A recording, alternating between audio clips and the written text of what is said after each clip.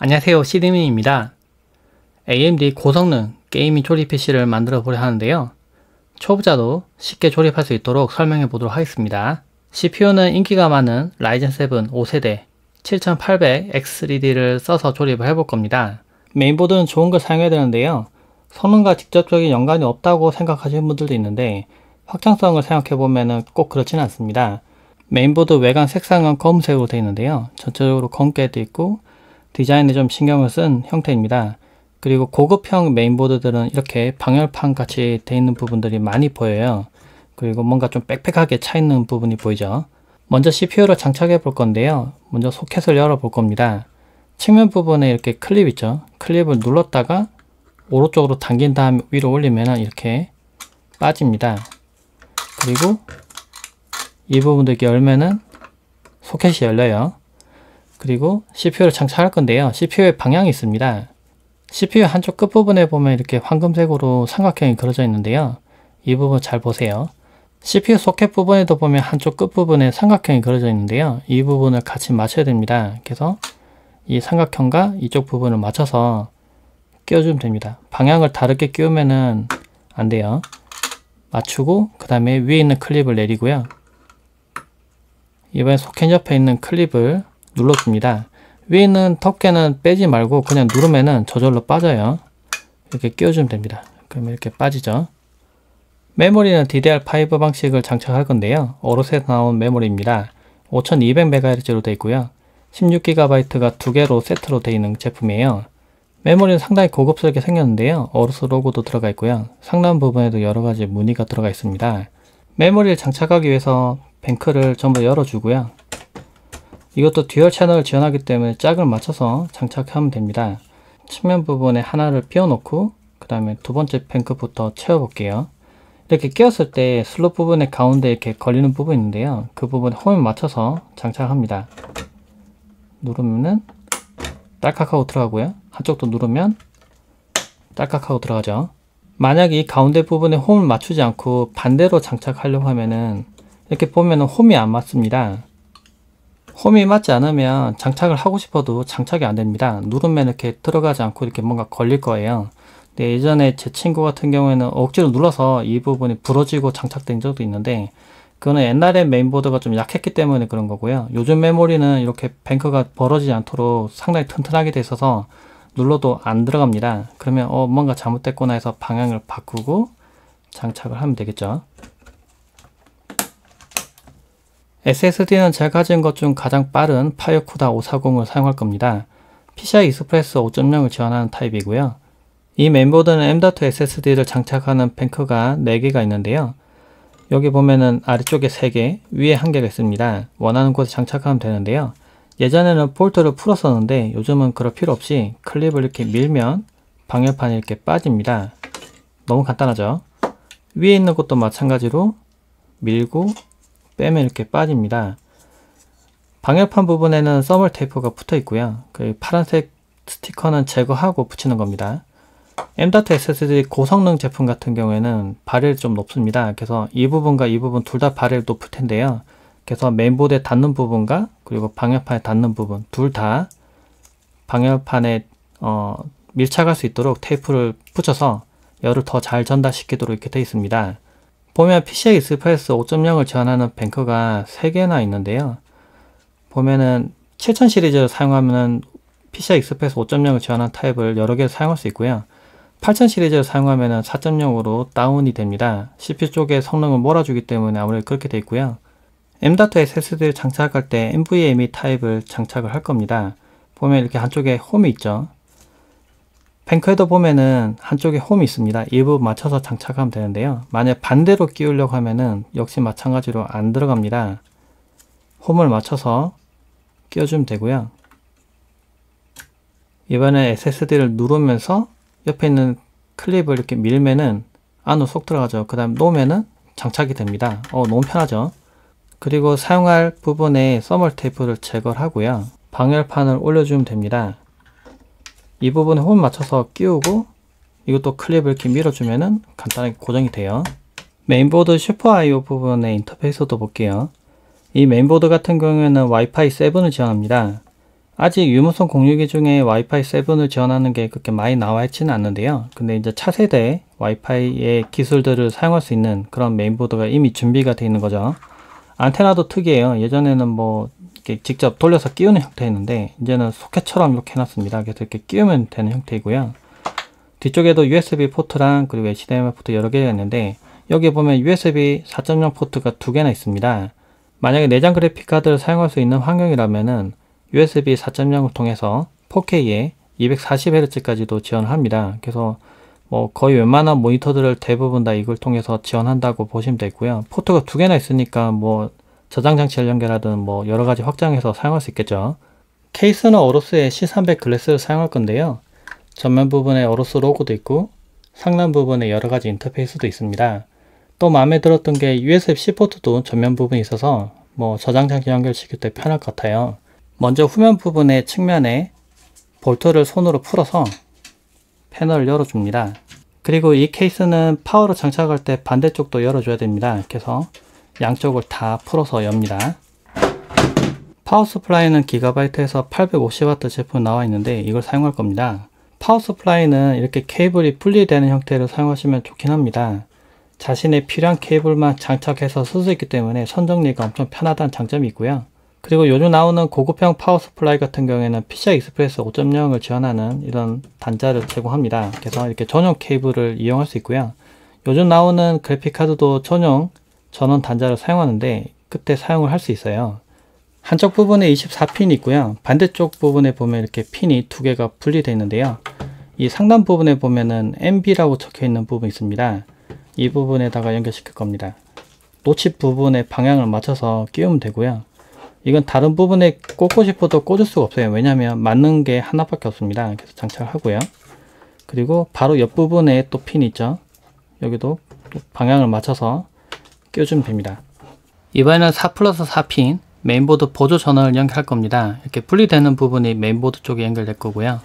반대쪽 부분을 power supply 보면 CPU라고 표시된 부분이 있습니다. 이 부분에다가 연결시켜 줍니다. 이번에는 PCI Express 5.0 케이블을 연결할 건데요.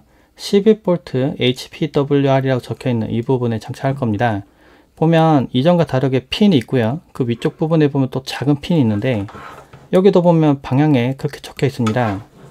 아래쪽 부분에 핀이 큰 게 있고 위에 작은 게 있죠. 방향에 맞춰서 끼워주면 됩니다. 그리고 핀을 장착할 때 틈이 벌어져 있지 않은지 완전히 밀착해서 들어가는지 확인 다시 한 번 더 합니다. 이 부분이 제대로 결착이 안 된 상태로 그래픽카드 사용하거나 했을 때는 화재가 나거나 뭐 열이, 열이 나서 녹아 붙는다거나 그럴 수 있기 때문에 이 부분이 완전히 밀착되는지 확인하시고요. 안 돼 있으면 더 깊게 눌러서 장착을 완전하게 해줍니다. 그리고 뒤쪽 부분에 전원 스위치를 끄고 켜는 부분이 있는데요. 전원을 연결하기 전에는 반드시 이쪽에 O라고 되어 있는 부분, 오프 부분에다가 놓고 오프를 시켜 주시는 게 좋습니다. 이걸 인에다가 켜놓고 이거 전원을 연결하거나 하면 스파크가 생기거나 할 수 있기 때문에 오프된 상태로 전원을 연결시키고 그 다음에 최종적으로 전원 켤 때만 이걸 켜시는 게 좋아요. 그리고 이걸 끈 상태로 컴퓨터를 아무리 켜서 당연히 안 켜지겠죠. 그래서 고장난 걸로 생각하시고 막 난감해 하신 분도 있는데 뒤쪽 부분에 이 부분을 반드시 확인하셔야 됩니다. power supply를 이제 장착을 할 겁니다.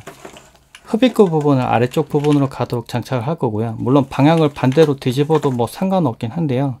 근데 이쪽으로 뭔가 이물질이 들어갈 수 있기 때문에 개인적으로 이쪽으로 뒤집는 게 좀 더 안전한 것 같아요.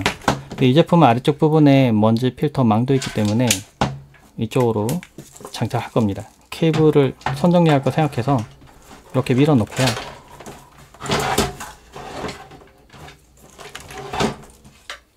이번엔 볼트를 고정할 겁니다. power supply 뒤쪽 부분에 보면 이렇게 홈이 있는데요.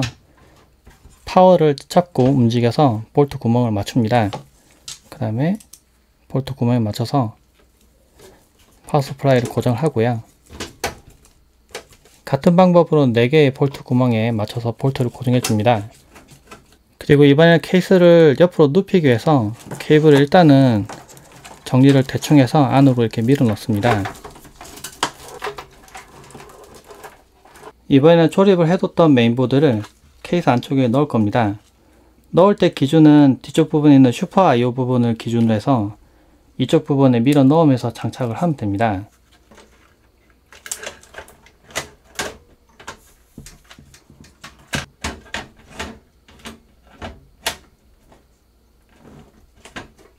메인보드를 장착하고 Super IO 부분을 맞춘 다음에 볼트 구멍을 맞춥니다. 메인보드에 보면 볼트 구멍이 있는데요. 케이스 부분에 있는 볼트 구멍과 같이 맞춰서 맞춰주면 정확하게 이렇게 올릴 수 있습니다. 메인보드에 있는 볼트 구멍에 볼트를 돌려서 고정해 주면 되는데요. 제 경우에는 손으로 돌릴 수 있는 볼트가 있어서 이걸 사용하지만은 케이스에 맞는 볼트가 있습니다. 그걸 이용해서 고정시켜 주면 되고요. 볼트 구멍이 여러 개가 있는데요. 그거에 맞춰서 다 조여주면 됩니다. CPU 쿨러는 공랭 쿨러를 사용해도 되는데요. 네, 이번에는 오롯에서 나온 수냉 쿨러를 장착해 볼 겁니다. AMD CPU 쿨러 장착할 때는 CPU 옆에 있는 소켓을 먼저 제거를 해야 됩니다. CPU 측면 부분에 있는 소켓을 볼트를 풀어서 제거를 하고요.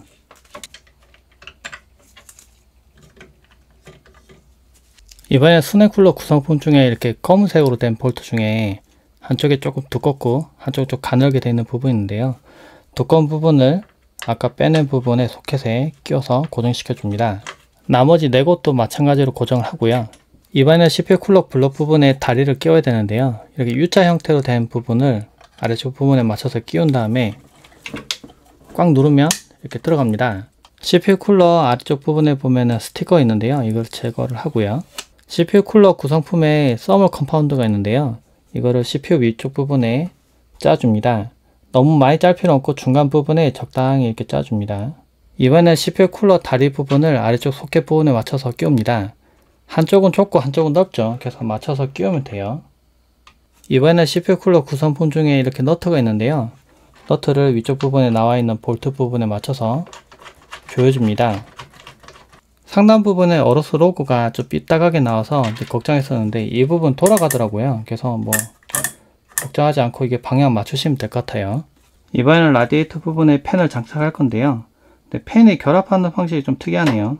보면 자석으로 붙는 방식도 있는데 이거는 핀으로 결합하는 방식입니다. 그래서 이쪽 부분에도 핀이 있죠. 이쪽에는 핀이 나와 있는 부분이 있는데 이걸 맞춰서 이렇게 끼우면 두 개가 연결되는 형태예요. 과거에는 각각의 펜에 선이 나와 있어서 그걸 다 연결시켜 줬어야 되는데 이제는 이제 직렬로 연결시키고 한쪽에만 전원 넣으면은 모든 펜이 동작하도록 그렇게 요즘 나오고 있습니다. 펜 부분에 전원 연결시키기 위해서 이렇게 전용으로 되어 있는 커넥터를 연결시킬 건데요. 이렇게 맞춰서 끼우면 핀이 결합되는 방식이에요. 여기다 이제 전원 연결시키면 이제 펜이 동작하죠. 라디에이터를 케이스에 연결시키면서 또 펜도 고정해야 되는데요. 이렇게 긴 볼트가 있습니다. 이거를 이쪽에 끼우고요. 이게 튀어나오겠죠, 이 부분이.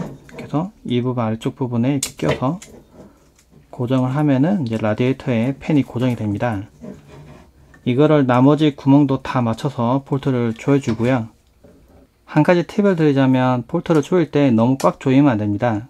살짝은 느슨하게 조여야 돼요. 이 부분에 고무가 들어가 있는데요. 진동을 줄이기 위해서 이렇게 들어가 있는데 볼트를 너무 꽉 조여버리면은 이 진동을 줄일 수가 없습니다. 예전에 진동을 줄이기 위해서 볼트를 대각선 방향으로 두 개만 조이는 방법도 있었는데요. 요즘은 펜에 이렇게 고무가 더 띄어져 잘 나오기 때문에 다 조여도 되긴 되지만 살짝 느슨하게 조이면 더 좋습니다.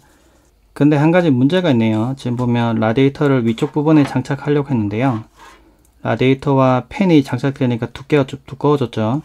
근데 메인보드에 여기 방열판 부분과 간섭이 생겨서 정상적으로 이렇게 들어가질 않습니다. 그러면 볼트 구멍이 맞지 않기 때문에 고정을 할 수가 없어요. 이럴 때는 전면 부분에 펜을 장착하는 방법이 있습니다. 이렇게 해서 바람이 안쪽으로 들어오도록 하면은 더운 공기가 들어오기 때문에 전면 부분을 통해서 바람이 나가도록 이렇게 장착을 하셔도 됩니다. 전면에 장착하려면 전면에 있는 패널을 잠깐 빼야 돼요. 잡고 잡아당기면은 이렇게 틈이 벌어집니다. 이 상태로 이렇게 붙여서 볼트를 고정하면은 이제 장착을 할 수가 있고요. CPU 쿨러에 보면은 CPU 팬이라는 선이 나와 있는데요. 이거를 메인보드에 보면 CPU 팬이라고 적혀 있는 부분이 있습니다. 이 부분에다가 꽂아줍니다. 라디에이터에 장착된 선 부분도 보면은 이렇게 4핀으로 된 전원선이 있는데요. 이것도 메인보드에 보면은 4핀 단자가 있습니다. 여기다가 꽂아줍니다. CPU 펜 부분이 있고 또 다른 시스템 펜 뭐 여러 가지가 있는데요. 뭐 CPU 펜을 뭐 시스템 펜에다 잘못 연결시킨다고 해서 문제 되거나 하진 않습니다. 그냥 전원을 당겨가는 거기 때문에 문제가 없는데 메인보드에 따라서 CPU 펜에 아무것도 연결되어 있지 않으면 CPU 펜은 정말 중요한 거잖아요. 근데 동작을 안 하면 문제가 되기 때문에 에러를 띄우는 경우가 있습니다. 그래서 CPU 펜에는 CPU를 장착하는 게 어, CPU 펜을 장착하는 게 가장 좋고요. 나머지는 뭐 선택 사항입니다. 이번에는 RGB 조명을 연결해 볼 겁니다. 이 보면 한쪽에 비어있는 3핀이 있고요. 그리고 또 핀이 튀어나온 게 있는데 이거는 이제 분기시켜 주는 겁니다. 그래서 한쪽에 신호가 들어왔을 때 두 개의 장치에다가 이제 RGB를 보내고 싶을 때 쓰는 거예요. 여기 보면 이제 4핀짜리가 있고 핀 하나 비어 있는 게 있는데요. 핀 하나 비어 있는 쪽에다가 이 구멍 배열을 보면 두 번째가 좀 비어 있죠. 거기에 맞춰서 이렇게 꽂아주면 됩니다.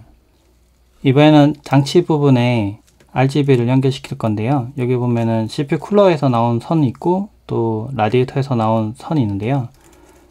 이 부분을 핀에 맞춰서 이렇게 꽂아줍니다. 이번에는 아랫부분에 밀어넣었던 케이블들을 빼고요. 이제 전원을 연결시켜 줄 겁니다. 핀이 제일 많은 주 커넥터를 꺼내서 메인보드 위쪽 부분에 보면은 위에 있는 구멍 있죠. 이 부분이 주 커넥터 단자가 가까운데요. 이 부분을 밀어 넣고요. 주 커넥터 단자를 메인보드에 있는 주 커넥터 단자 부분에 맞춰서 꽂아줍니다. 노치 방향을 보고 꽂아야 돼요. 보면은 이쪽 부분 노치가 튀어나와 있죠. 여기다 보면 이렇게 뭔가 걸리는 부분이 있는데요. 그 부분을 맞춰서 끼워줍니다. 반대로 꽂으면은 일단 들어가진 않아요. 이번에는 8핀 두 개로 되어 있는 보조 전원을 오른쪽 맨 위에 있는 구멍에 넣을 겁니다. 이렇게 겹쳐서 한 개를 먼저 넣고요. 그 다음에 나머지 한 개를 같이 또 밀어 넣으면 됩니다. CPU 보조 전원 선이 나왔는데요. 만약에 한쪽 구멍으로 다 빼기 힘들면은 이쪽에도 구멍이 한 개 더 있어서 이렇게 각각 따로 나눠서 두 개를 빼면 됩니다. 참고하실 점은 이게 4 플러스 4핀으로 되어 있는데요. 반드시 이걸 쓰셔야 돼요. CPU 보조 전원 선을 메인보드 이 부분에 8핀 부분이죠. 정확히는 4 플러스 4핀인데 이 부분에 노치를 방향을 생각하셔서 꽂아줍니다. 연결을 완료한 모습이고요. 이번에는 그래픽카드 보조 전원 선을 연결할 건데요. 선을 쉽게 연결하고 선 정리를 하기 위해서 아래쪽 부분에 보면 구멍이 있더라고요. 그래서 이쪽 부분을 통해서 넣어줍니다. 그래픽카드는 기가바이트의 RTX 4070 Super를 사용할 겁니다. 그래픽카드 장착할 때는 아래 부분에 있는 슬롯이 여기 있는 맨 위쪽 부분에 장착이 될 건데요. 물론 아래 부분에 장착하는 방법도 있지만은 그래픽카드가 두꺼우면 아래 부분과 간섭이 생겨서 실제로 장착이 안 돼요. 그래서 보통은 맨 위에 있는 부분에 장착합니다. 그리고 위에 있는 슬롯이 속도가 빨라요. 이 부분을 여기다 맞춰서 넣는다는 생각으로 장착하시고 이 부분에 보면은 뒤쪽에 있는 슬롯 있죠. 이쪽에 케이스 부분이 보통 처음에 막혀 있습니다. 또 열려 있는 경우도 있는데 이 부분 맞춰 보시고 몇 개를 열어야 되는지 확인해 보신 다음에 이 같은 경우 지금 두 개를 비워야 되거든요. 그래서 이쪽 부분에 두 개를 지금 비워둔 상태입니다. 아래 부분에는 슬롯 위치를 보고 장착을 해줍니다.